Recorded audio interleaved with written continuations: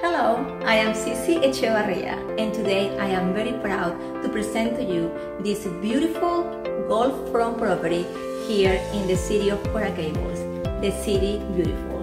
So come along.